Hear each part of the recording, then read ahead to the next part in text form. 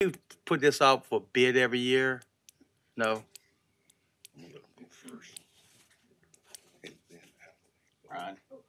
I'm sorry.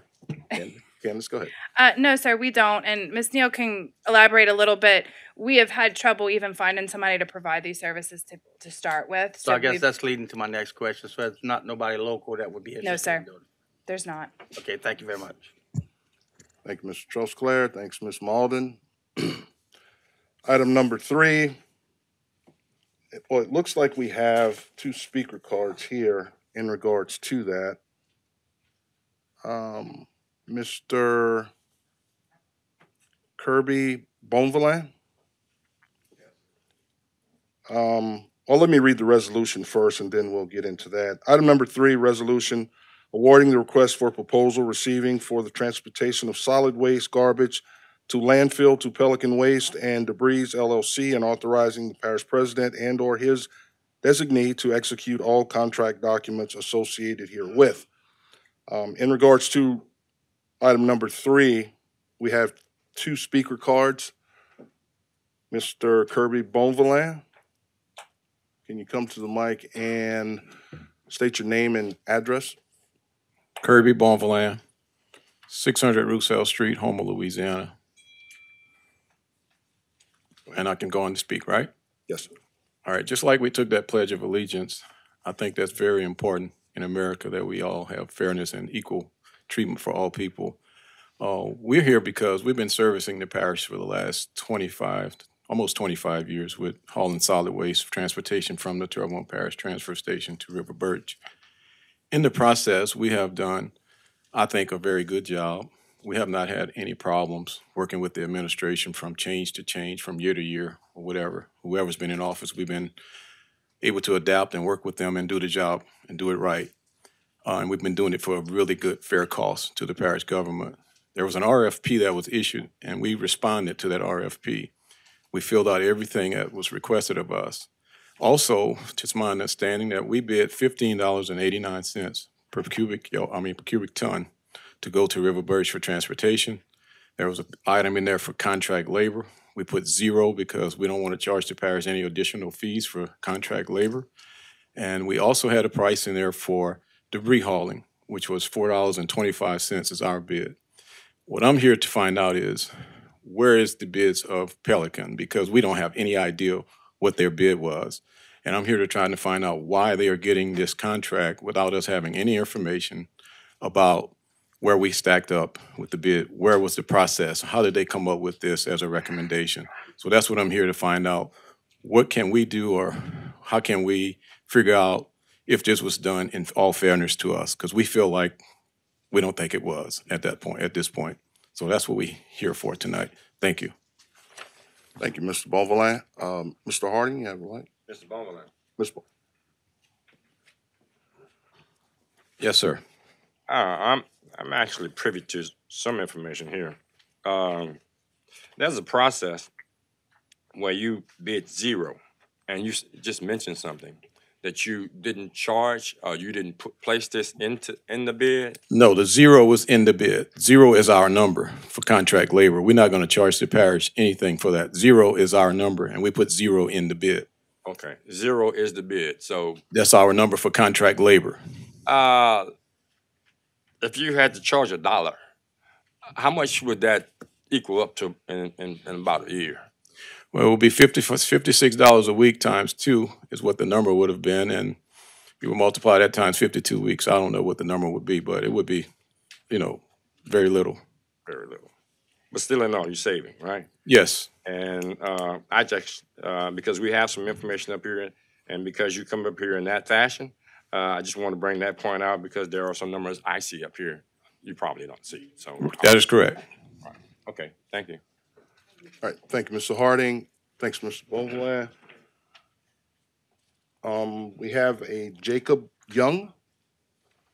State your name and address for the record, please. My name is Jacob Young with the law firm of Chehardy Sherman Williams. My address is One Galleria Boulevard, Suite 1100, Metairie, Louisiana. I'm here today because I represent WB Company, and I'm not going to speak about the business of trash removal because of my client who preceded me uh, knows much about that. They've been doing it for the parish for 24 years, my understanding here. But I do want to talk about the RFP and the criteria for the RFP. And the reason why I want to do that is because I look at page 16 of the RFP that was submitted by the parish. It has, it states its own criteria, which is a parish is allowed to do in these in circumstances, is to state their own criteria for the, the proposals they'd like to seek. And we have 50% weighted towards cost. We have 25% relevant experience and capabilities. And we have 25% technical approach. And the reason why I'm speaking today is because it's my understanding the WB com- company submitted a proposal that had the lowest cost, which is 50%. They've been doing this job for the parish for 24 years. I'm not aware of anyone else doing this job for the parish for the last 24 years. And I'm not aware of any concerns with their technical approach. And the public bid law in the, in the state of Louisiana is in Title 38. And 2212 of that section indicates that when a criteria is met by a lowest bidder, then the parish is compelled to accept that bid. I ha- I'm not aware of any rejection grounds under Title 38, 2214, but I am aware that it, that of the experience and the cost that I outlined to the committee, so to the council. So my suggestion is that it's appropriate that WB be awarded the contract. Um, that's contrary to the resolution as I read it. Um, I don't mean to come and tell the, the council members how to conduct trash removal in their parish. I can only speak to the experience and the quality of my clients' work over the years. And they submitted a fair proposal. They submitted a more than fair proposal, and they submitted it perhaps beyond the terms of fairness when they put zero for contract labor. On each one of these categories, it's my understanding it's this lowest bid. And I field any questions from the council, and I thank you for your time. I thank you for hearing me today. Thank you, Mr. Young. I don't- I don't think we have any questions in regards to our, Mr. Nolley rep. Yes, sir. Thank you. We have uh, Mr. Clay Naquin here, our solid waste director, who was a part of this uh, this bid process. I'd like to call him up to shed some light on that process uh, for the council. Absolutely. Mr. Naquin?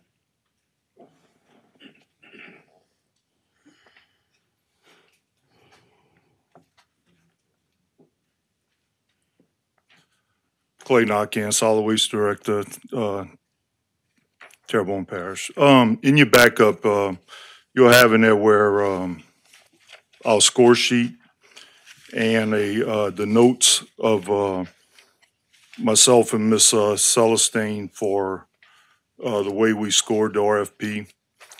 Um, let me get my paperwork here.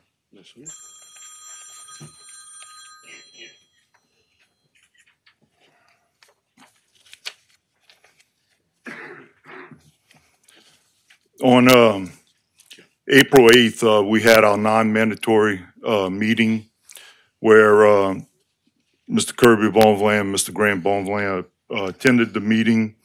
Uh, They asked about that specific thing about uh, putting the contract labor into the, the price of the tons, and we told them, no, that's not the way we wanted it. We want a price of the ton, of the contract laborers because they work at the yard and we need to see them there. So we wanted a, to be able to fairly um, s- score the thing, we needed a price on it, uh, not combined into the price of the tonnage. So on, um, when we got the bids, me and Celestine met and um, the uh, scores, we seen where they did not put one, so uh, we discussed it and uh, we came up where we broke this, uh, the 50 points uh, into um, uh, the, being able to give the highest points of uh, 16.67%. And um, we scored them that way. And if you see on your score sheets, A, B, and C. Um, and that's how we came up with the uh, points. And uh, Pelican uh, Waste and Debris came out with a 86.67, WB with 76, and Norris and Boudreaux with 41.33% and, and going through the, uh, con, the RFPs, we felt that, um, the technical approach from both Pelican and WB, uh, met the criterias. Uh, Norris and Boudreaux, uh, by just looking at the RFP and not looking at the, the, the company, um, we knew uh, Norris and Boudreaux probably could do the work, but the RFP did not describe the work that they could do, so we, they were scored a zero. Um, and then the relevant experience, both of them, um, Pelican and their RFP went into the, uh, about them operating a transfer station, uh, in the past, uh, um, and knowing a, a garbage, uh, business, uh, they also scored a twenty-five. And of course, uh, WB knowing, uh, us, uh, their RFP and everything, they scored a twenty-five. And again, when it came down to Norris and Boudreaux, they probably could do it, but they didn't put it in their RFP. So by looking at the RFP, not looking at um, the uh, the work uh, that we know that people can do, but the RFP, this was um, they got a, a zero on that. So that's how we came up with these scores. It was RFP put out, um, and um, you know uh, the other thing that came was a uh, this is, uh, we needed to do a RFP in order to have a competitive, competitive bid for FEMA. If, uh, we have a disaster and we need to activate and use these prices for FEMA, it has to be, uh, competitively RFP out. So that's, uh, where we got this. Mr. John Amedee? Thank you, Mr. Chair. So, Mr. Naquin, because they, on item B put zero, does that declare them non-responsive to the specifications that were put out in the RFP? Correct. We, in order to, to grade the rest of the, the rest of them, we, uh, we gave them a zero because there was no, uh, dollar figure in there for us, uh, so that we can compare them to the other companies. So they didn't meet the requirements that were put out when the RFP went out? Correct. Okay, thank you. Thank, thank you, Mr. Amedee. Uh, Go ahead, Mr. Harding. Zero and nothing. Um, was it no dollar charge or no charge?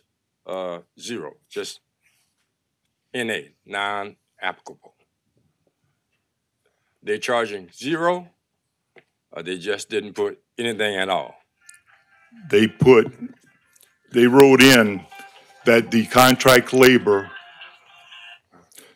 they put in that the contract labor would be charged in the, uh, tonnage, would come through the tonnage of, uh, the transfer station. And that tonnage would be reflected where?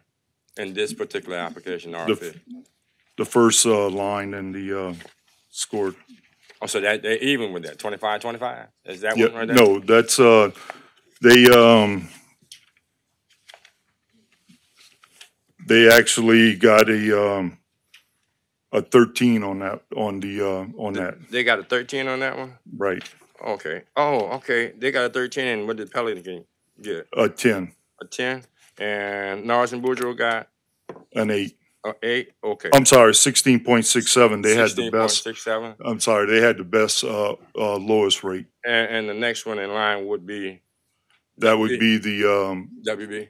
uh, that, no, that's, the next line, B is all the way across, is the contract labor. Yeah, but I'm saying, you got ten dollars, thirteen dollars, and sixteen dollars and sixty-seven cent. Hey, Um, Not, far- Line B is, line, uh, actually, that's line A. yeah, you need line B is what you're talking. No, uh. The, the, the, the reflection of the cost that's diverted from the zero would be, uh, show, will show up in the tonnage, right? So even with the tonnage, you're saying that the ten dollars that they have here, so actually it would be a three dollar difference if you're saying that's that's going to be reflected in that, but then you don't want it done that way because you got ten dollars, thirteen dollars, and sixteen dollars and sixty seven cent on A. I, I, I'm not following where you're going with this. I'm, if, Well, I'm trying to find out how much are we saving, and how much does that zero shows up to the negative, where they're supposed to be saving money. I, that's what I'm saying. I, I I don't do this for a living. You know what I mean? I see a zero there, and I'm I'm just I can't figure it out. I think I'm like uh, Mr. Amedee. I'm trying to figure out how the zero get here, but it's a, a specification that they have in the RFP. They have to put something. w- we wanted to see what the contract labor is gonna cost us there, because at any time, if we need to stop the contract labor or go down to one contract labor, we want to be able to, uh, do it. It just depends. We, we specifies we want two contract laborers in the, in the RFP. But if something happens that we don't need to, we don't want to be charged for two. That's why we wanted a line item so that we could keep up what was going on. And all this was explained to them in, at the non-mandatory meeting that we wanted this broken out, and they chose not to.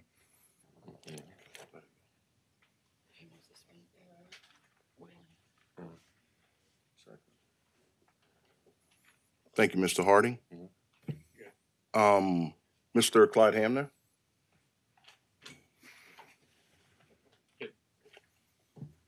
Okay, I still don't really get it because the way I'm reading this is they're charging not, uh, not a certain amount, not, not, yeah, they're charging zero for contract labor. That's their cost.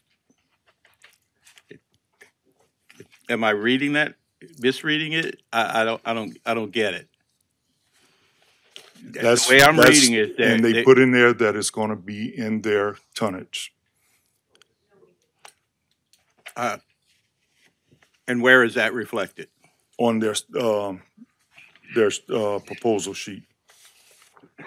Yeah, I see that. I see that statement, But that's not their statement. but their tonnage is what? Fifteen eighty-nine. What, the, the five, okay, that, that bottom line is the tonnage. Um, the bottom line, we- I'm not It- following what, Uh. on one, I mean, A, I'm just looking at the, the, can I say these numbers? Uh, are these public? Yeah, yeah. Okay. I'm looking at the, the five thirty-one twenty-five. That's their bottom line cost, right? no, Should that be that's, that's a, that's a, um, for cubic, uh, yards, if we need them for a debr- uh, disaster. That's what it would cost, uh, for, um, hundred and twenty-five cubic yards. They're gonna charge four dollars and twenty-five cents per, uh, and that's for hundred and twenty-five cubic yards, five hundred and thirty-one twenty-five.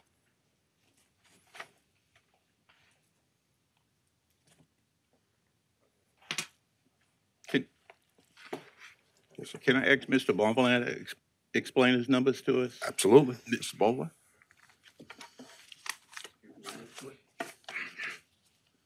All right, I could give you the numbers verbatim.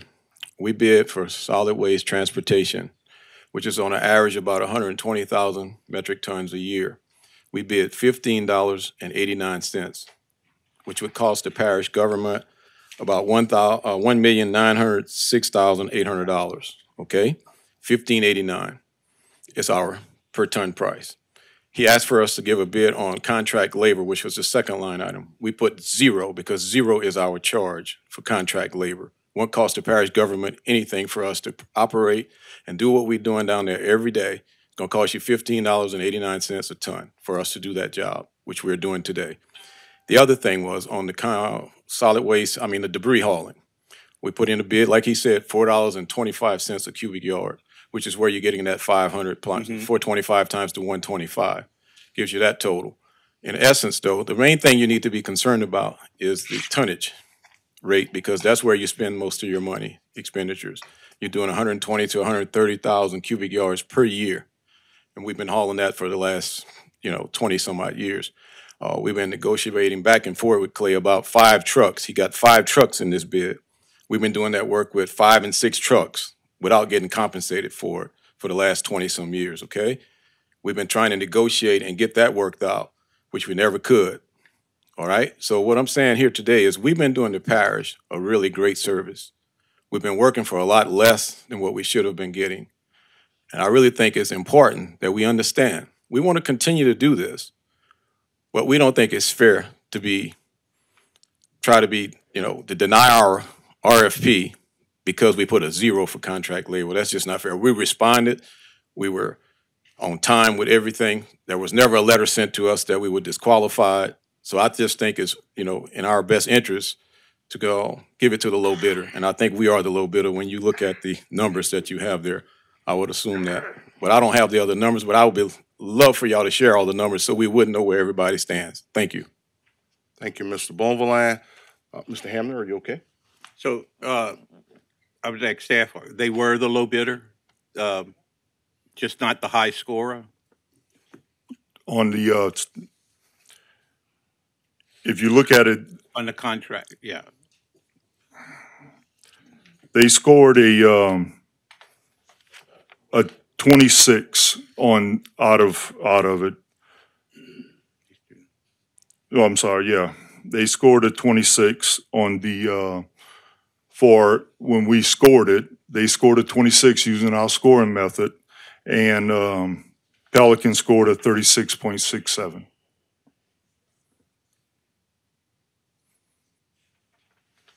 But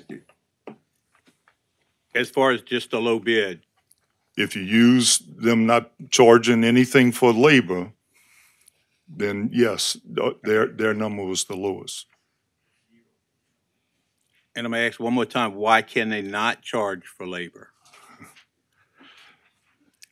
It's because we, again, the labor, we wanted that in there. They charge, uh, we put it in here because we wanted to do a fair evaluation. We didn't want it included in the tonnage. We wanted it included, uh, we wanted a separate number. Um, and they did not give us a separate number.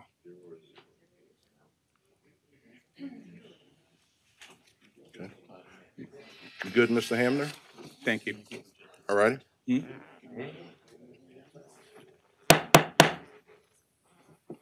Uh, Mr. Babin, Yes, thank you. It- You know, again, we only asking these questions to ask these questions. If they would have put a dollar right there, what would their score have been? Rather than zero. I mean, I Um, yeah. understand, listen, I understand the RFP. You, you asked for specific things, and that's the way it should have been done. Right. but it was not. But alluding to what we're hearing right here, their overall bid is the lowest bid. They've been doing it for twenty-four years, okay? I'm just simply asking that if they would have included, if they, they, their, their unit was, was, uh, fifteen eighty-nine versus sixteen nineteen. The other was four twenty-five versus four forty, okay? So that tells me right there that they're lower on both those items. If they would have put a dollar in right there, they would have still been lower. And I just want to know how that would have scored because then it would have filled something other than zero. Y- Am I making sense? Right, and we would have been able to, if they'd have put a zero, we would have been able to have the, the workers there. This here, the way, No, no, not a zero. I'm saying if they'd have put a one, Clay, how would you have scored that then? I guess we'd have had to score them, uh, with the, uh, because they gave us a, a, a dollar amount would have, You- been you- You scored. see, you see where Yeah. I'm going with that? Okay, so the, the next question then, I'm, I'm gonna ask is, when do we have to have this in? Is this something, is this something if this council decided to throw this out tonight and let you rebid it, okay? According to the specs? I mean, we threw out numbers here that everybody knows now, and then maybe they'll get, maybe we'll get a better deal, okay? Mhm. it, would, would it be a problem? And I'm only asking because I got more people that probably want to talk, okay? Would it be a problem if we delayed this process based on that? As long as I could start it immediately after, uh, re, redo it. Yeah, but, but you see where I'm going with this. Sheer numbers tell us that if they'd have bid a dollar, if they'd have put a dollar figure right there, just one dollar, then they would have still been lowest bidder, and your scoring method would have been different with a dollar right there. Correct. Am I correct? Okay, which means instead of twenty-six versus the thirty-six, they, they, might have had. Uh, uh, they, they were, they might have had a, uh, they were only ten points down total, okay? Correct. They may have been exceeded that number Correct. again, you see where I'm going with Yep. this. I just, I just want to clarify it for myself and, and for everyone else, if possible. All right, thank you. Thank you, Mr. Babin. Uh, Mr. Champagne. I thought Mr. Voisin went before me. Okay, um, Oh, I'm sorry. so I, I, I guess the, I guess looking at this, they, they were, they put a zero, which to me is a dollar amount, is, uh, and they didn't get a score, even though they're, like, on that line item, they were scored a zero, but they were the bet, they were the lowest bid. And, and that's how I see it in my mind. So that, you know, so I, I, I- don't know how the impact of having that dollar amount affects the operation of your facility, knowing that number. But I, like zero for me is zero. I, I, you know, like if they're saying they're not gonna charge you for that. I, I, I don't know. I, I, I guess I have a hard time understanding why that makes a difference in the operation of running the landfill.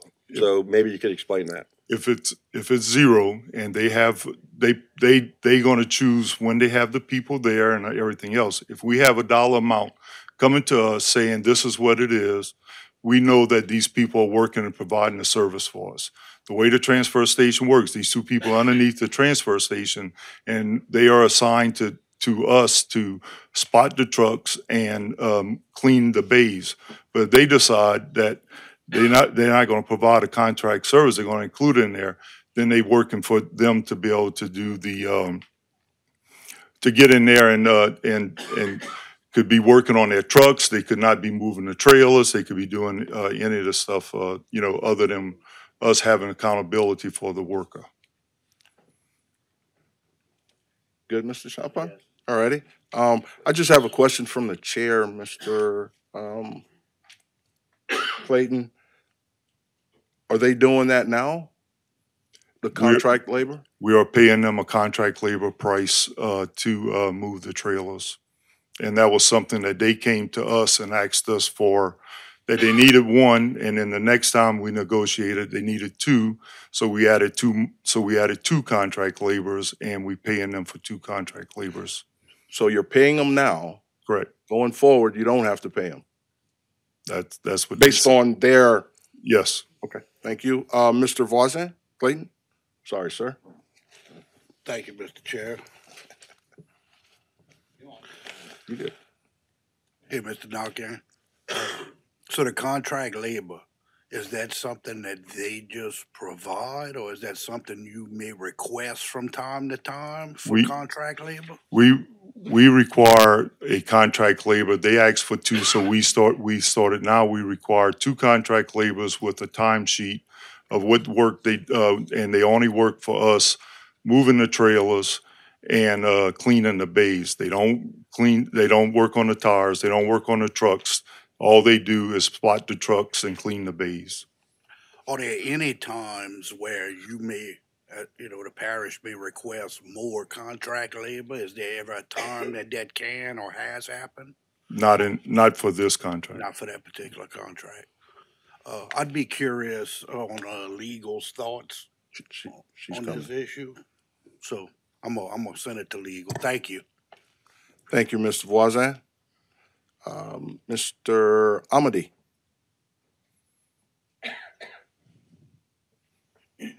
Thank you, Mr. Chair. So I think y'all looking at numbers, y'all not looking at contracts.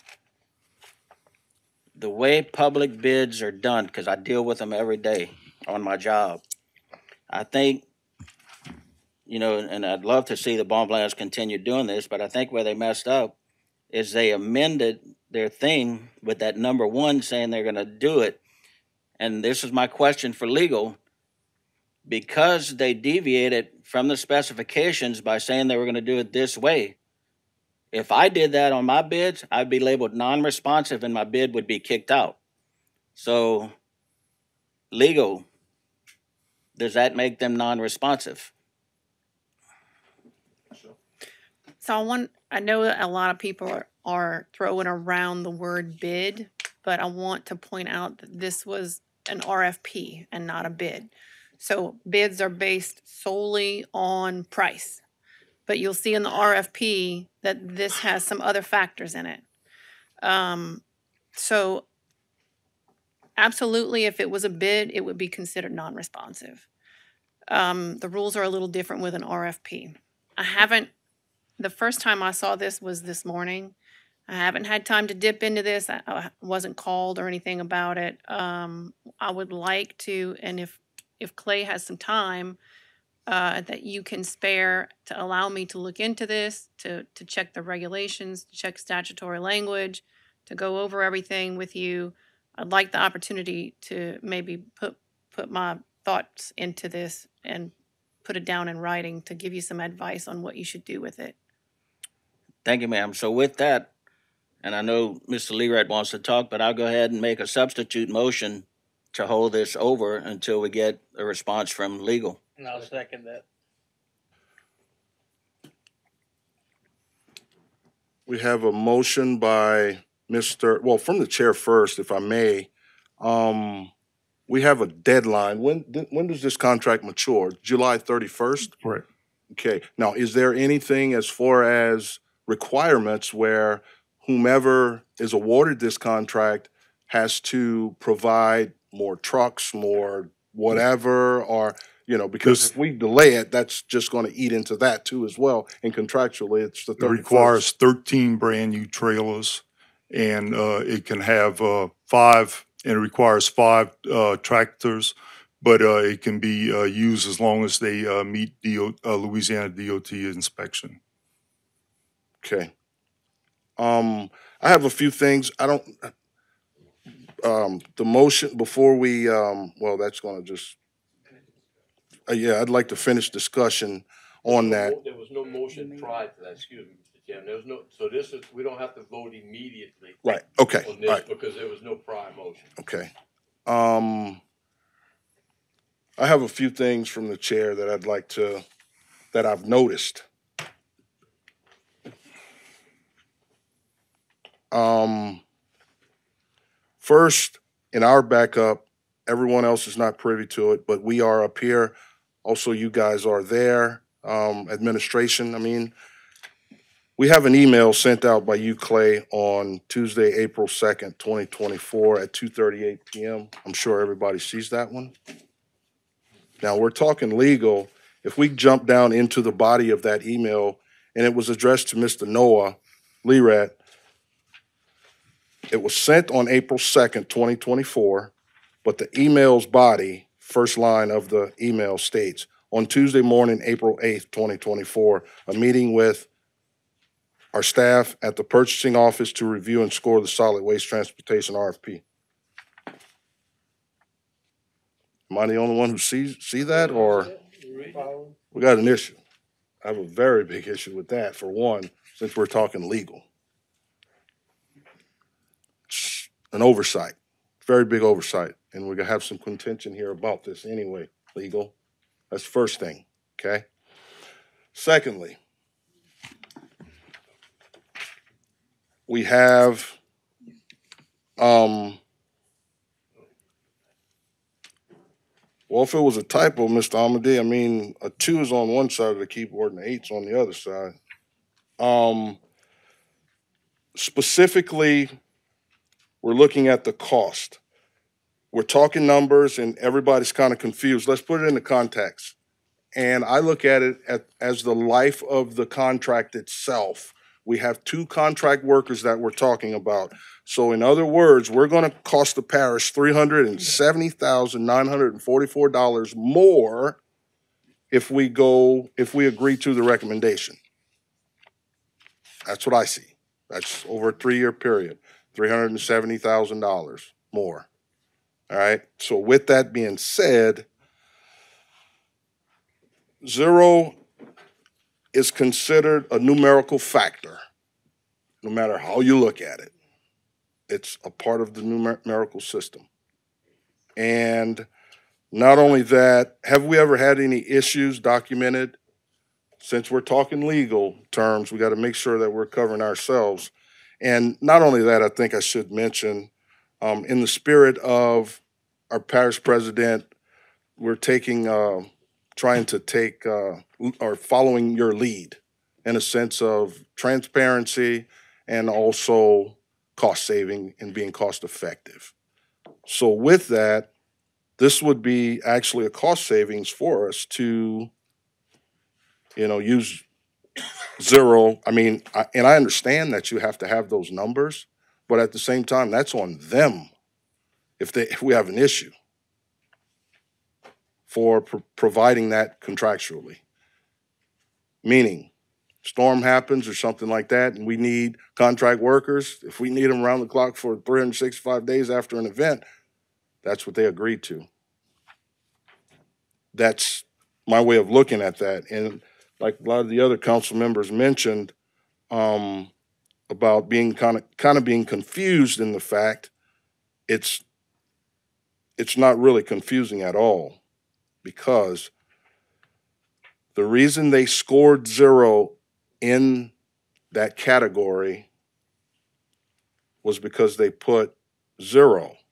But that category, if you guys look at it, it says cost for A, B, and C.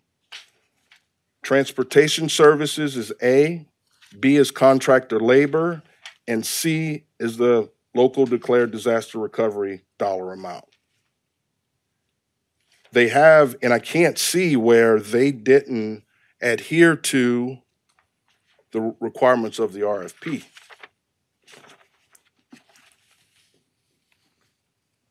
We're saving, it's twelve hundred and eighty-eight dollars a week per contract worker. We double that because we have two.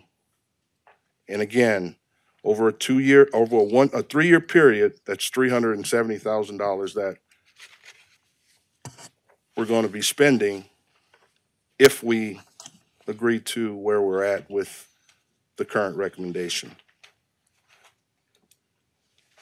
That being said, Mr. Nolly, Thank you, sir. I was going to refer you to that backup material, uh, page sixty-seven for clarification on, uh, Mr. Naquin and Ms. Ellis's scoring method for technical relevant experience and cost approach that you referenced. sorry, say that one more time? I was going to refer the council to backup page sixty-seven, that email you referred to for the scoring committee's review notes on technical approach, relevant experience, and cost. Just to provide clarity on Mr. Naquin's testimony on that. That's it. Okay, as relates to cost, I'm assuming what you're talking about? The summary of how they went about scoring that, that's the Yes, summary of clearly. it? Yeah. Yes, clearly. Yeah. And, and that answers what specifically? If there's any questions on Mr. Naquin's testimony on how he scored, him and Miss Ellis scored the RFPs. It's clearly written how he, how they went about that method in that, that email that you referred to. Correct, and that's what we're all up here and we're confused about Right. because they put a zero. They asked at the meeting, if I'm, you know, please correct me if I'm wrong, but they requested at the meeting that we consider, could we consider combining the contract labor and the price per ton? Mr. Naquin said no. However, it doesn't even matter because their cost was zero, which is a numerical factor. So that that that's really a moot point because what he's explaining there and what they did is exactly what it is. Give us a number of what it's going to cost to provide contract labor. They said, We've been doing all this work for the parish. We feel that we can handle it. Mhm. We can eat that cost. They put zero. You can't penalize an, uh, an entity for helping us save money or wanting us to save money. I would suggest that. I wouldn't want to. So with that being said,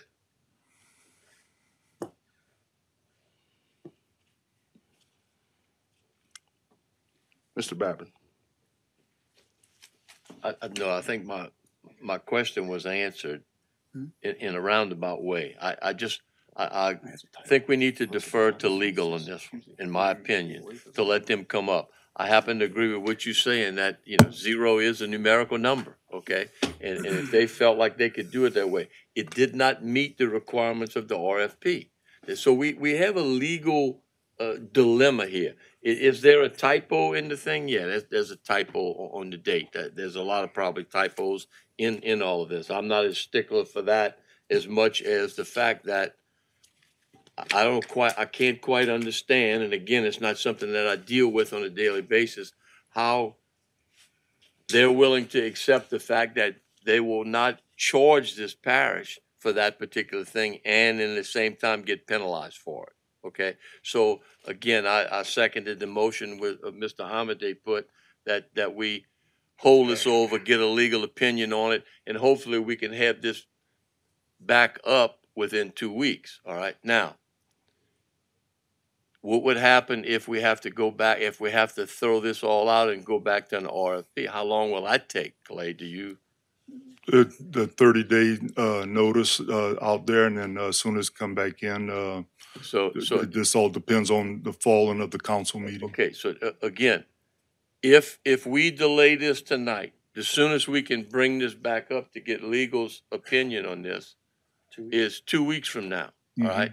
So if at that point, I'm just trying to figure things out procedurally here, we throw it out. At that point, you got thirty days to have to put it back out again. So then we're at the end of May then, okay? And get it back to us, we in the second week in June. Does that still give you time? Uh, that's cutting it close. I, I'm just, I'm trying to logically figure out where we're going here, okay? I don't know. I never bought trailers, so I don't know what's the lead time on trailers. But- that was one of the reasons we put the uh, the five used tractors because they uh, that that is usually the most lead time. Okay, but, but again, somebody looking at a contract of this magnitude has probably done their homework already and know what they're gonna do, anticipating that they were gonna get the bid on. it. Okay, this is not something that they're starting from scratch, is I guess what I'm trying to say. Okay, but, but again, because there seem to be some legalities here and, and Ms. Neal would like to look into it, I, I, I, I would vote to, to delay this. Thank you, Mr. Chair. thank you, Mr. Babin, Mr. Harding. I don't think um, that we'll be in a position that we be looking at trying to put out another RFP. And the deal there would be is the fact that one little thing, zero, nada, zilch, does not apply.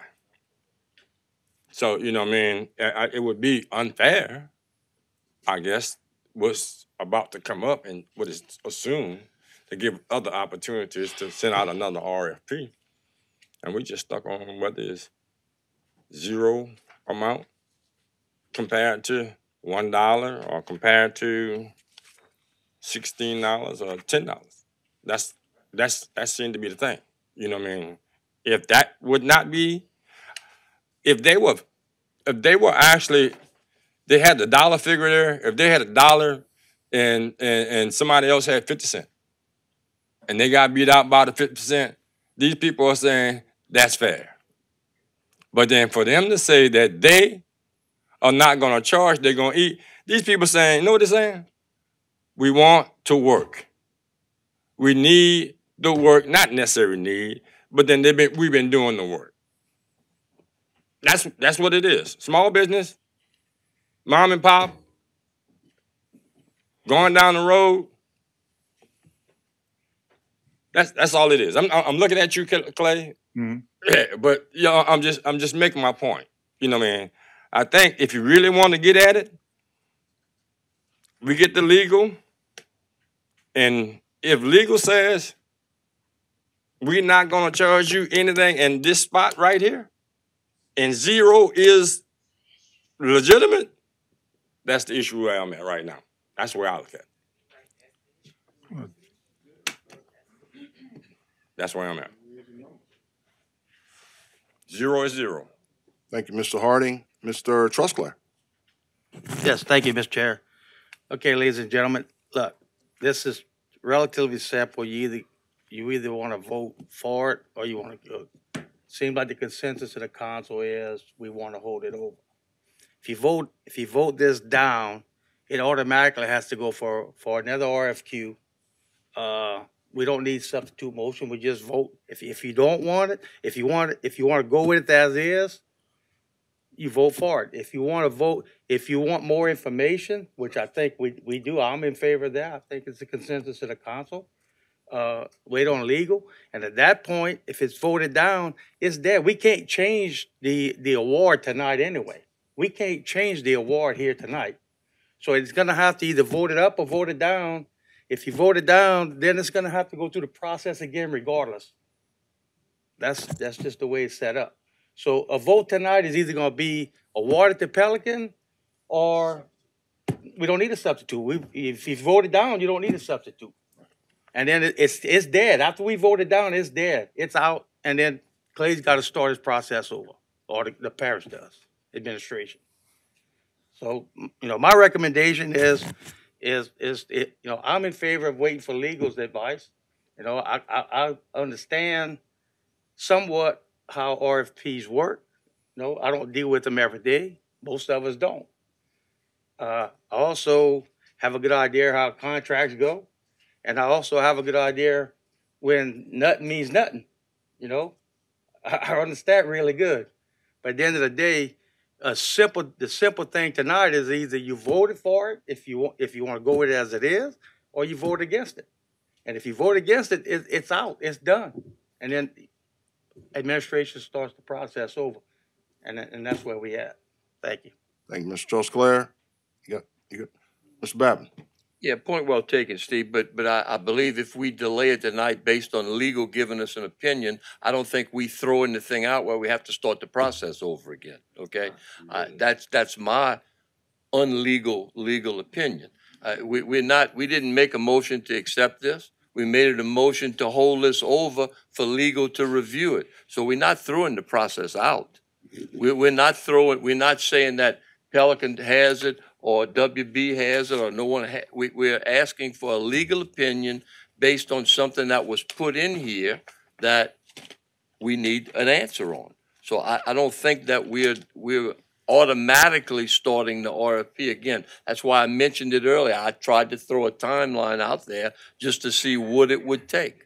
But again, the motion is to delay what we have in front of us to get a legal opinion, not to vote it up or down. Thank you. Thank you, Mr. Babin. Mr. Trosclair.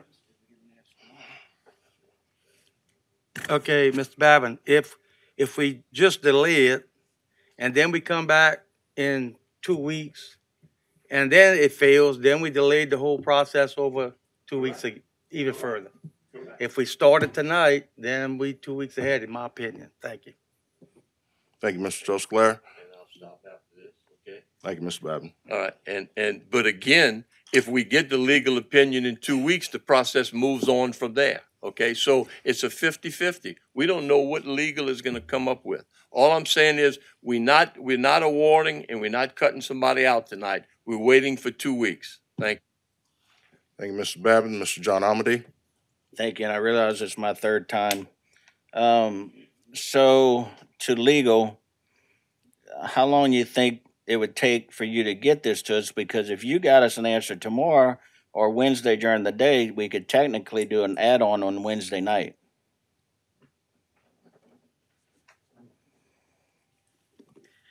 Uh, Okay. I'm gonna put my No mic- pressure. You're good. You're good. I, I could try to drop everything and get it done for you if you want to push it to get it done. I I'm don't like at- doing those types Yeah, of things in a no, we don't like you to do that either. We want to be fair to everybody Mhm. um, involved, and and I agree with everybody. You know, zero is a number. Um, the thing that that had me was that they wrote on there that we're going to deviate from what the RFP was sent out. That's what I'm questioning if that disqualifies them or not. Um, so that's why I'm gonna check stick into with it. my, my motion to get something from legal. Mhm. I don't care how long it takes, you know, if it delays it, it delays it. And I don't want to give you an answer on the spot because I haven't had time to No. research it. And I definitely want to get the entire package and all the responses and every, all the information that Clay has available so that I can do a thorough job. I'm, you know, to me, the Bonvillains can bring litigation. If we rule a different way, then Pelican can bring litigation. So as far as I'm concerned, it's gonna go to litigation and it's gonna be delayed anyway.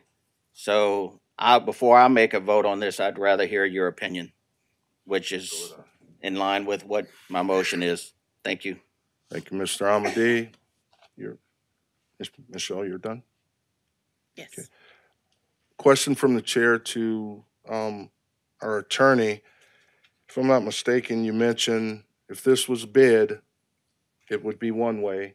But if it's, since it's an RFP, it doesn't hold the same, it's not the same criteria, correct? So I'm much more familiar with bid law than what I am with the RFP, so I need to go look up that RFP information. Okay. And that's all I have for you, Mr. Naquin. Um, if you have anything else for us? No, I'm good. Okay, all right. Um, I noticed that, uh, Mr. Bonvillain, you were kind of trying to get our attention there. As I stated earlier, we've been doing this job for quite some time and we vested and really interested in continuing with this partnership. And what I want to say to you all tonight is that y'all have to understand, we put a zero because we know that's what we, we know we can get this job done without charging you any additional contract labor. And that's the whole reason behind it. It's not that we're trying to do anything to trip anybody up or change anything. And there was no change in the RFP. All right, we just wanted to make a footnote that we're gonna cover whatever needed at the landfill in our price. So that Clay would know that, or the parish would know that this is not anything, we're not trying to deviate or, you know, change anything.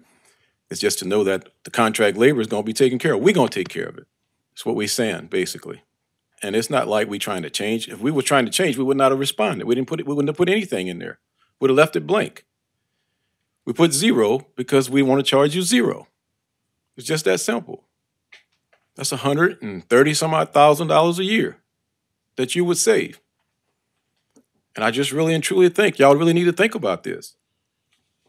We've been doing this 20 some odd years. We've been in these parishes our entire life. Our entire families here. We do business with everybody in this parish is local. We do business with. We got opportunity. We got 15 people work for our company every day, gainfully employed. And we got to come up here and fight for a contract that I know we're the low bidder on is ridiculous. We should not have this discussion tonight like this. I'm utterly disappointed in each and every one of us that's standing here and having to argue about this. It's common sense. We're the low bidder. Give us the job. Let us continue doing what we do. That's what I ask. Thank you. Thank you, Mr. Bonvillain.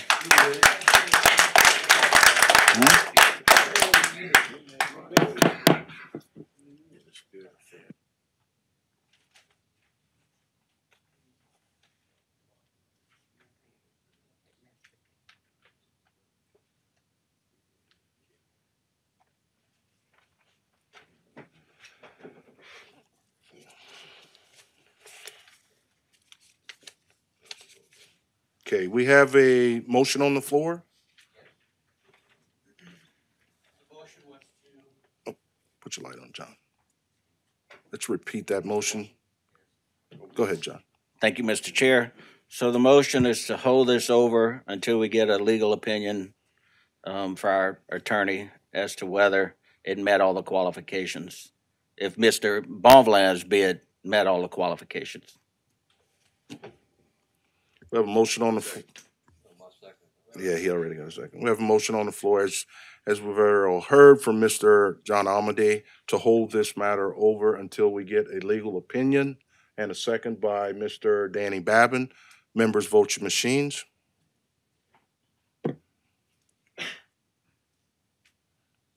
Votes nine to zero, we'll hold this motion, we'll hold this over until we get legal's, um, legal opinion.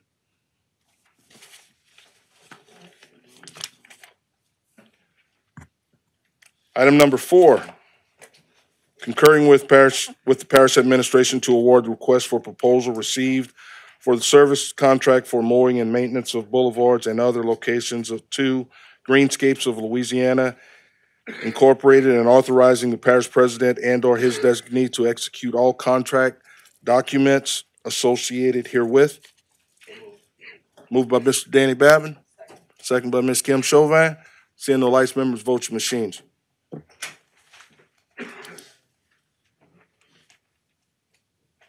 Votes 9-0. motion passes. Item number five, resolution authorizing the parish president to enter into the appropriate subrogate agreement with GOHSEP in order to receive one point two million in funding and implement the award FM, FMA SRL elevation program to elevate seven severe repetitive loss structures. Moved by Mr. Carl Harding, second by Mr. Danny Babin. Seeing the lights, members, vote your machines. Votes nine to zero, motion passes. Item number six, authorizing the execution of change order number thirteen for the construction agreement for parish project number 97 PAV 21 state project number H 7351, Country Drive widening, phase one, phase A, Terrebonne Parish, Louisiana. Moved by Mr. Steve Trosclair, second by Ms. Kim Chauvin. Seeing no lights, members vote your machines. Votes nine to zero, motion passes. Item number seven, consider the introduction of an ordinance to amend the 2024 adopted operating budget of the Terrebonne Parish Consolidated Government for the following items and to provide for related matters. Item number one, animal shelter, $59,990. Item number two, transit, seventeen thousand four hundred and fifty-eight dollars. Item number three, housing and human services, Head Start HVAC systems, sixty-seven thousand. And calling a public hearing on said matter on April twenty-fourth, twenty twenty-four at six thirty PM. Moved by Mr. Danny Babin, second by Mr. John Amedee. Seeing no lights, members, vote your machines. Votes nine to zero, motion passes. Motion to adjourn by Mr. Steve, by Mr. Danny Babin, second by Mr. Carl Harding. Good evening. Members, vote your.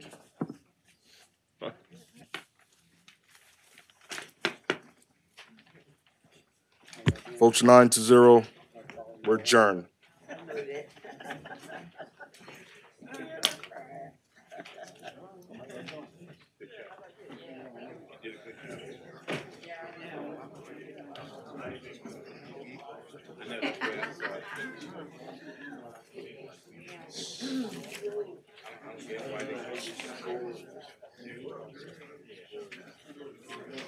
I'm sorry. Oh, man, I took, wait, this is.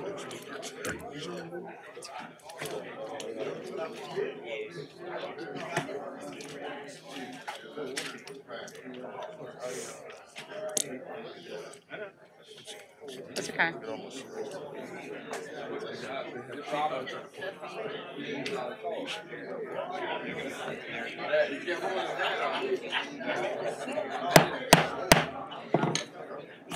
Notice to the public, if you wish to address the council, please complete the public wishing to address the council. They're not gonna be quiet.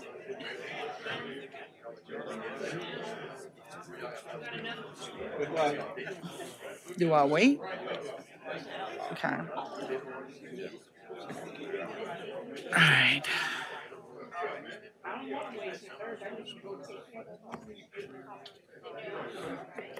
Okay. So now bang the gavel again, Lord Jesus. Notice to the public, if you wish to address the council, please complete the public wishing to address the council form located on either end of the counter and give it to either the chairman or the council clerk prior to the the beginning of the meeting. All comments must be addressed to the council as a whole. Addressing individual council members or staff is not allowed. Speakers should be courteous in their choice of words and actions, and comments shall be limited to the issue and cannot involve individuals or staff-related matters. Thank you. All cell phones and electronic devices used for the communication, used for communication should be silenced for the duration of the meeting. Mr. John Amedee will lead in prayer lead in Pledge of Allegiance.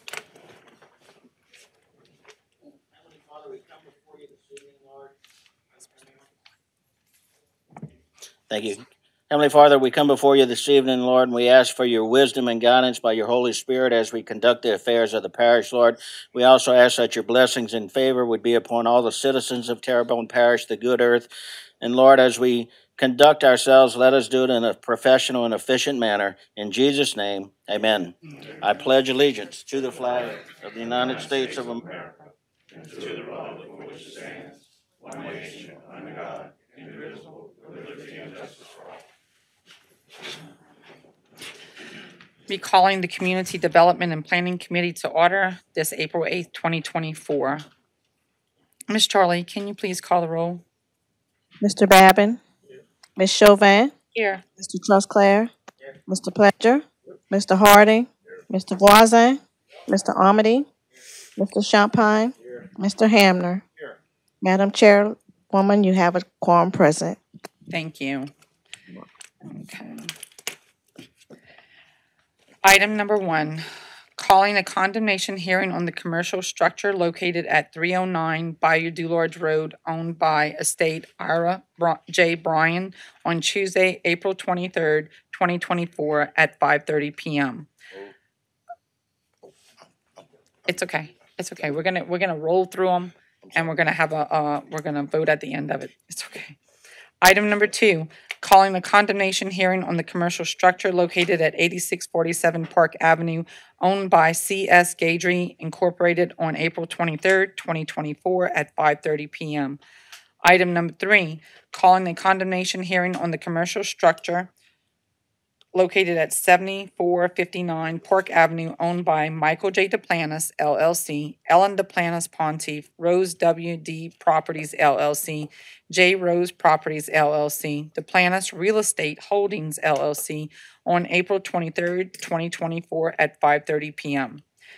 Item four, calling the condemnation hearing on the commercial structure located at 7108 Grand Caillou Road owned by Oscar Enrique and Sharon Berg Figueroa Jr. on April 23rd, 2024 at 5:30 PM. Let me get this.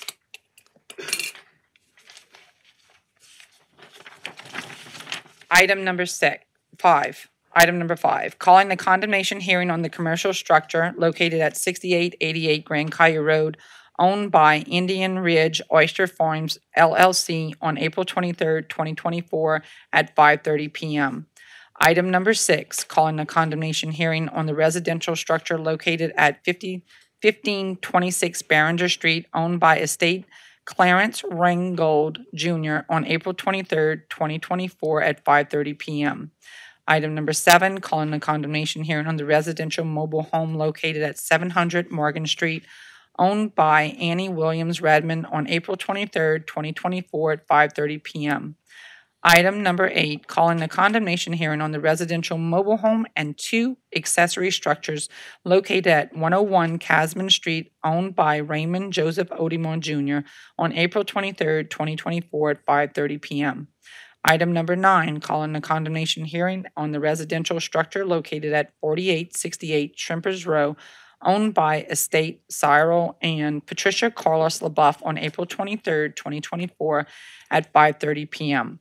Item number 10, calling a condemnation hearing on the residential structure located at 309 South Central Boulevard owned by Brett E. Bynum on April 23, 2024 at 5:30 PM. Item number 11, calling a condemnation hearing on the residential mobile home located at 208 Sterling Drive owned by Angela M. Tyler on April 23, 2024 at 5:30 PM.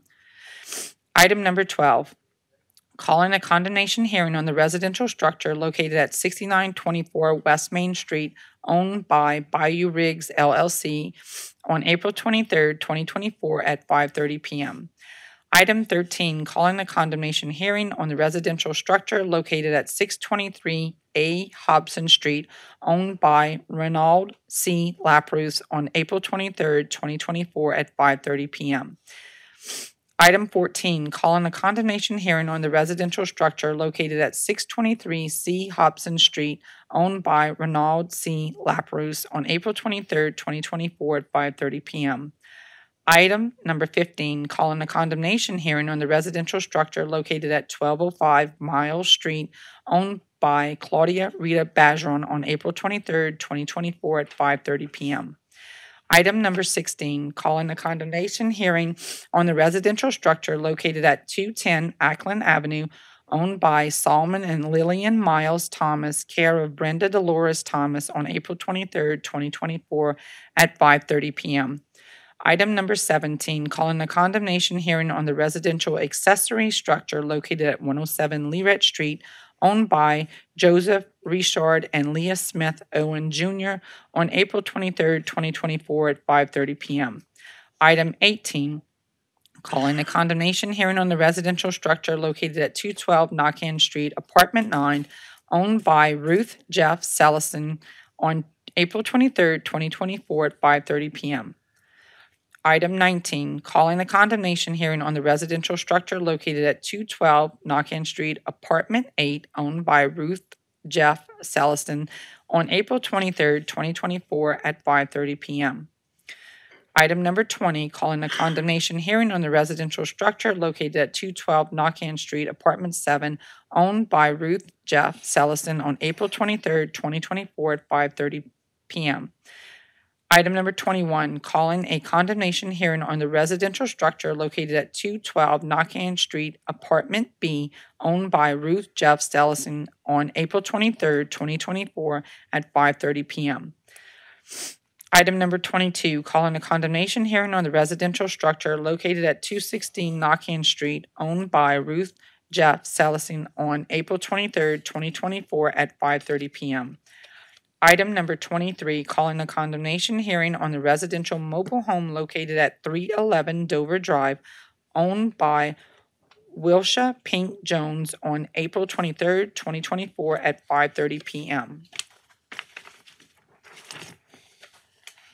Item twenty-four, calling the condemnation hearing on the residential structure located at one oh three Royal Street owned by Thomas P. Ragus and Melinda D. Boudreau on April twenty-third, twenty twenty-four at five thirty PM.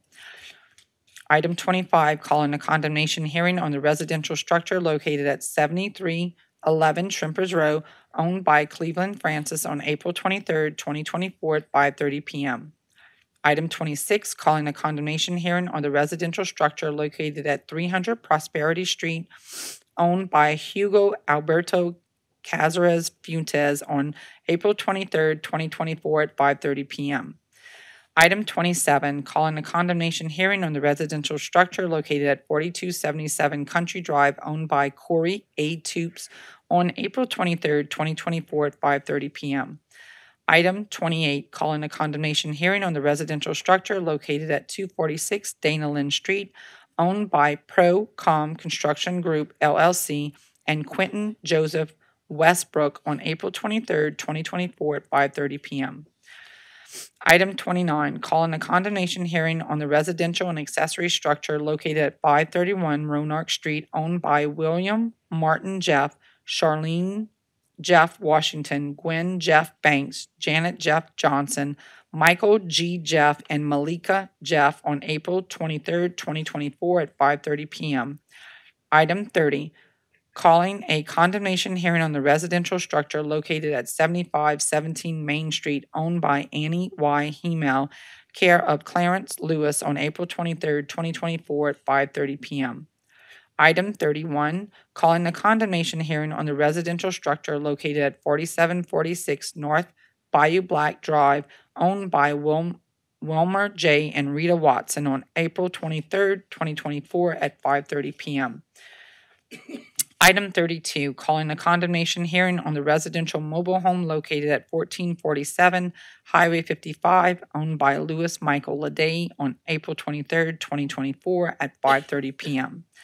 Item number thirty-three, calling a condemnation hearing on the residential mobile home located at twenty-six fifty Anaheim Drive, owned by Terrence and Raquel Barber on April twenty-third, twenty twenty-four at five thirty PM. Item thirty-four, calling a condemnation hearing on the residential and accessory structure located at forty-seven forty-five Bayou Black Drive, owned by Marvin A. Antill, Johnny W. Antill, Claudette Antill Bro, Myra Antill Bro, Rafe A. Antill, and Jamie Antill Quibido on April twenty-third, twenty twenty-four at five thirty PM. Item number thirty-five, calling the condemnation hearing on the residential mobile home located at one thirteen Ray Ellender Court, owned by Garrett Sheet, care of Samuel Henry on April twenty-third, twenty twenty-four at five thirty PM.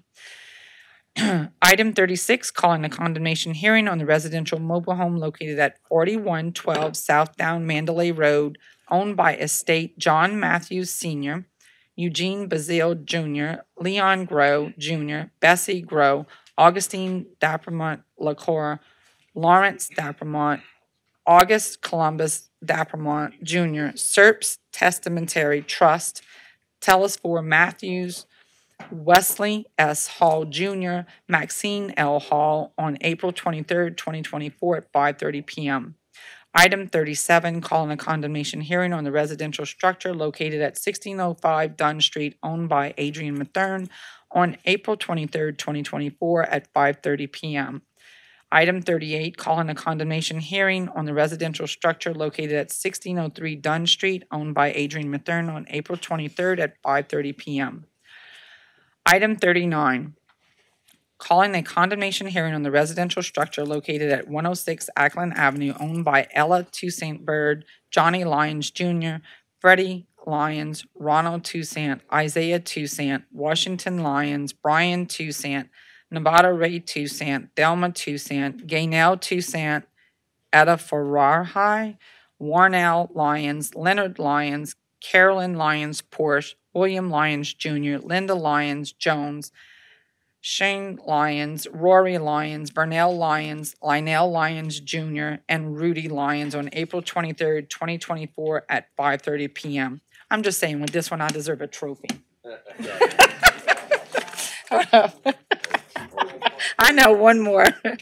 Item 40, calling a condemnation hearing on the residential structure located at 6443 Highway 56, owned by Perry Joseph Ducati, Carol Boudreaux Ducati, Gary Joseph Ducati, and Maria Villa Viceno Ducati, and on April 23rd, 2024 at 5:30 PM. I am sure I butchered some names. Moved by uh, Mr. Pledger and seconded by Mr. Hamner. Members vote your machine. Okay, hold up, start vote. What is it? You gotta vote. Oh. Okay.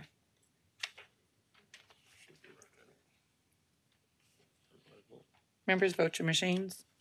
Why is it? Okay. Corley left. Okay. Oh, we have seven yeas. Motion to adjourn? Merc- Um, motion to adjourn by Mr. Pledger and second by Mr. Trosclair. Okay, Good job. yeah. Need water. You up, Daddy? I'm sure. I'll raise myself all the way up from this chair to the next one. I'm sorry. That's my fault.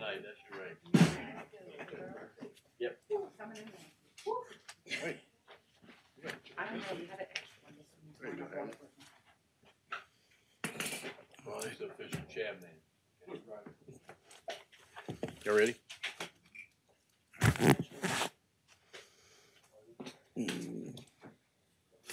All right, um, notice to the public, if you wish to address the council, please complete the public wishing to address the council form located on either end of the counter and give it to either the chairman or the council clerk prior to the beginning of the meeting. All comments must be addressed to the council as a whole Addressing individual council members or staff is not allowed. Speakers should be courteous in their choice of words and actions, and comments shall be limited to the issue and cannot involve individuals or staff-related matters. Thank you. All cell phones and electronic devices used for communication should be silenced for the duration of the meeting. I'll now call the meeting to order with the invocation and pledge to be led by Mr. um, Champagne.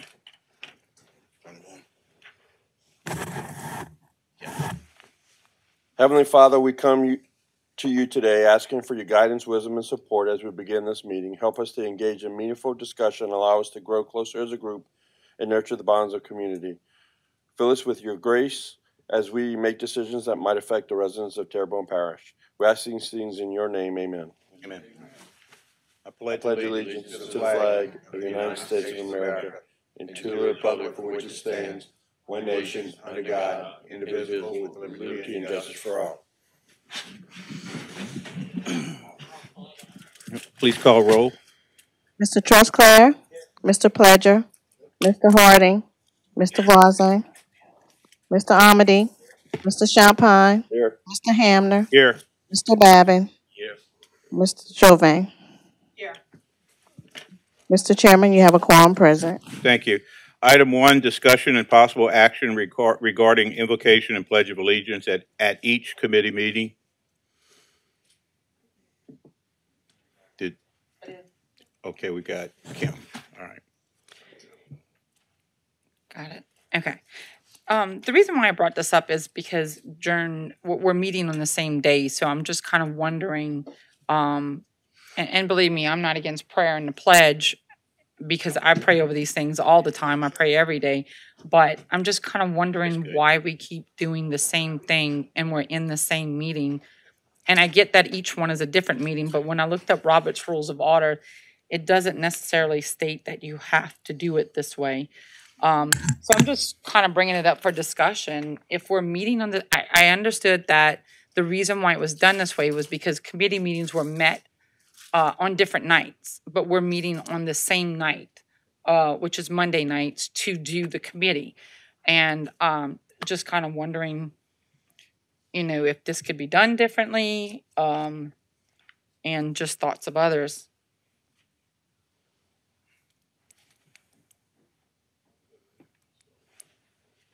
Here we go. Thank you. You're on. Okay, thank you. Yeah, I, Kim, just to give you some of my, my feelings on it, each one of them, and, and to the people that are listening, each one of these meetings that we're doing, we're on policy procedures right now. We did budget uh, and finance. Uh, I don't have one tonight, but it's, it's public service. Each one is an individual meeting. I don't ever remember, and, and maybe they did have meetings on, meetings on, committee meetings rather, on different nights, okay? Uh, in, in my opinion, it, it, it, uh, is something that we need. I mean, we all love our God and we all love our country. And the more we do it and, and the more people hear it, maybe we can just help this country out a little bit. I think we have a lot more important problems in the parish to deal with than this particular issue. And I don't mean that in any derogatory way. I'm just saying that I don't want to say this is the way we always did it and we ought to continue it. I'm saying I think it's, personally, I think it's necessary before each one, so we as a group can reflect on what we're getting ready to discuss to, to try to help move this parish forward. So that's just my opinions on it. And I guess for me, I mean, um, I pray every day. So, you know, praying four times or three times over over this stuff. I mean, I'm well prayed up before I even get here. So, I, I get what you're saying. I was just told that this is the way it's always been done, and so I, I'm just it's it's a question. It's just a question of, or do we remain the same? Do we change up things? Do we move through this? Um, I like to hear other people's opinions too. Thank you. Mr. Trosclair? Yes, thank you, Mr. Chair. Yeah, Kim, I agree with you. Uh, I think, uh, you know, the committee meetings run consecutive back to back to back. There's really no time frame in between. If you look at our agenda schedules, one starts at five thirty, one starts at five thirty-five, one starts at five forty, and they in five-minute increments. So to me, it's, it's, uh, you know, and, and, and as Mr. Badman said, definitely we need as much prayer and, and, and allegiance to our country as we can get. But just standing up here and going through the motions really is, is, uh, it, it, it's kind of redundant in my opinion. So, uh, I, I agree with you, Cameron. I, I think, uh, maybe we should look at changing it. Thank you. Anybody else? Okay. Okay. Item two, discussion and possible action regarding fireworks in Terrebonne Parish. Um,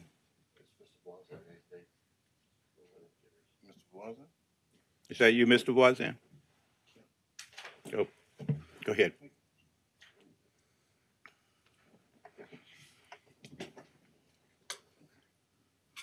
Thank you, Mr. Chair. Uh, I just put this on the, uh, agenda, uh, to have a discussion, uh, with uh, administration and legal present, uh, to be able to, maybe y'all can shed a little light. I got a couple of constituents that, uh, you know, they have some legitimate concerns when it comes to fireworks, particularly in subdivisions and things of that nature. And maybe, uh, with, with some of you veterans, y'all could maybe shed a little light on changing an ordinance for a small portion of the parish and how that would look and how that would work, if that was even possible. Thank you. Anybody else? Okay. Item, oh, Mr. Mr. Amedee. I think he was asking legal a question. Good morning. So I'll ask the question. If a constituent wants their subdivision exempt, like we did downtown city limits of Houma, how would that be done? My button work? Oh, there it goes. Sorry, uh, Councilman Voisin, I understood you were asking the rest of the council for their opinions. Um, I think, um, in my mind, if a subdivision, a certain subdivision wanted to exclude fireworks in their subdivision, but they were otherwise allowed by ordinance, um, it seems that, um, restricted covenants may be the best way for them to go. And there's a way for them to get enough signatures to put in restrictive covenants in their own subdivision and uh, govern themselves. So that may be an option for them that the parish wouldn't have to regulate.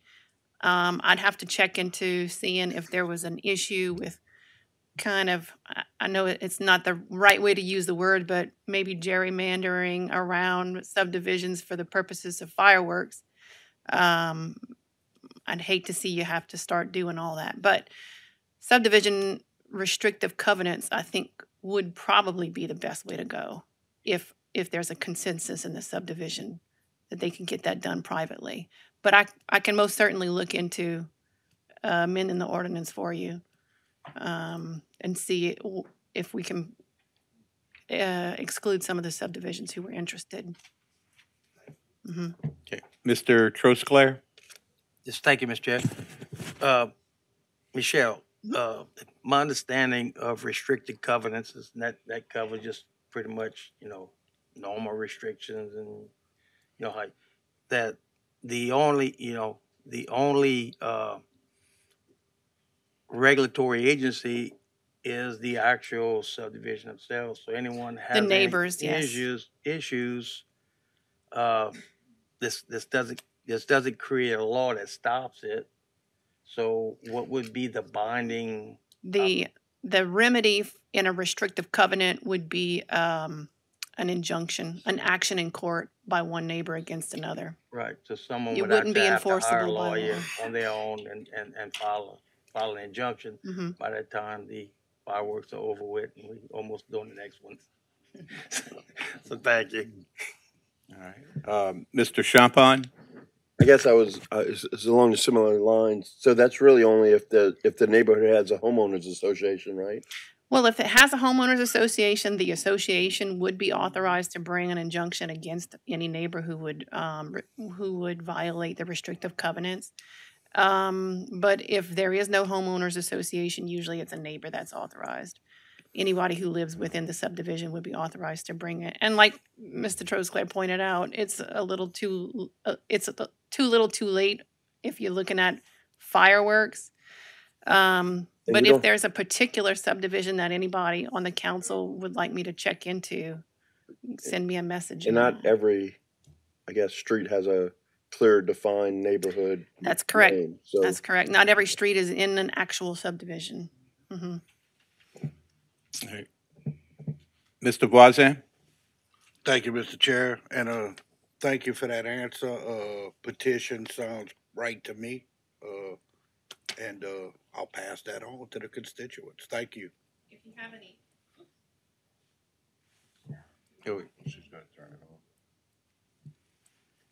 Go ahead. Councilman Voisin, just call me if you have any particulars that you want to discuss. Yes, ma'am. Thank you. And Mr. Babin? Yeah, just, uh, Mr. Voisin, just to, to maybe bring this out, and I think Ms. Neal will probably bring it out as well. For speed bumps and stuff that we have in the subdivision, we have a process that the subdivision can go through. I mean, if someone calls and wants a speed bump, we, we're not gonna do it just for that one individual, okay? If somebody calls for fireworks, to just use it as an example, we're not gonna change it just for one person. But if, if there is a process, and if that process is a petition of so many people or some, a certain percentage in the neighborhood, that might be something that Ms. Neal can, can look at. If we can isolate one particular subdivision and then what the requirements would be for that one particular subdivision to be opted out of the way we have the ordinance written right now. I, I mean, I think that's, I'm, I'm not trying to put words in her mouth, but I, I mean, that might be a step that we could take, and I'm sure she's gonna look into that, so, thank you. You know, seeing no further lights, we'll go on to item three. Approve the co-sponsorship request by Terrebonne Children's Advocacy Center for the Crime Victims' Rights Week Rally to be held April twenty-second, twenty twenty-four, from six P M. to seven thirty P M. at the Courthouse Square. Moved by Mr. Champagne, seconded by Mr. Babin. Seeing no lights, members vote your machine.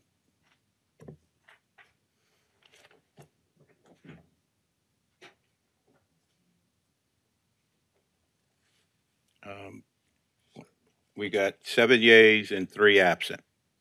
Motion passes. Oh, okay, seven and two is nine.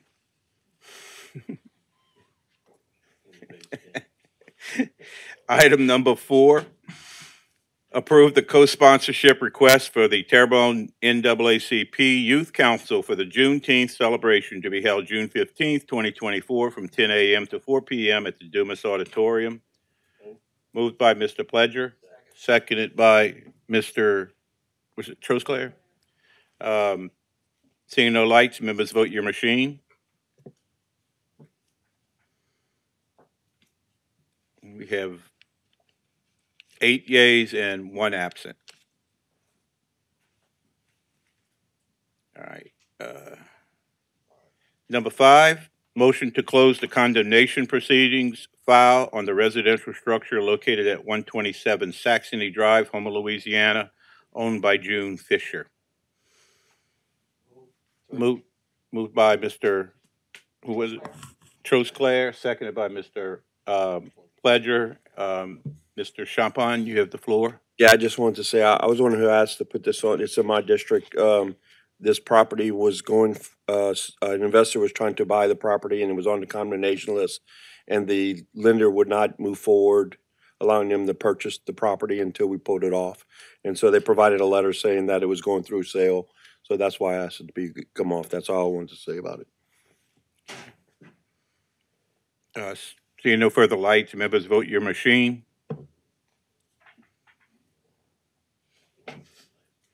Uh, Motion passes. Item six, amend the condemnation order adopted on October 24, 2023 on a residential mobile home located at 1192 Highway 55, owned by Jason P. Odimar by changing the deadline to complete demolition, demolition and our removal from the November 30, 2023 to October first, twenty twenty-four. Moved by Mr. Trosclair, seconded by Mr. uh, Champagne. Um, Seeing no lights, members vote your machine.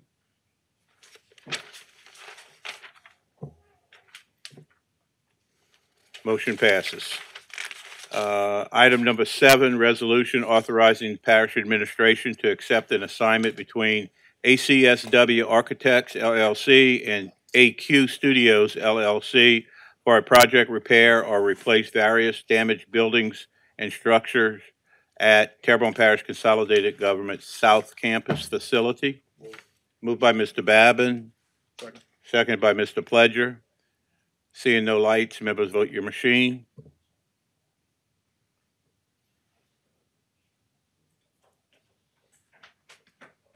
Motion passes. Item number eight, consider the introduction of an ordinance authorizing the parish president to enter a cooperative endeavor agreement with the Terrebonne Ministerial Alliances Incorporated and execute necessary documents for the transfer of immovable property from Terrebonne Parish Consolidated Government and Terrebonne Ministerial Alliance Incorporated and to provide for related matters and call a public hearing on Wednesday, April twenty-fourth, twenty twenty-four at six thirty PM. Moved by Mr. Babin, seconded by Mr. Pledger. Seeing no lights, members vote your machine.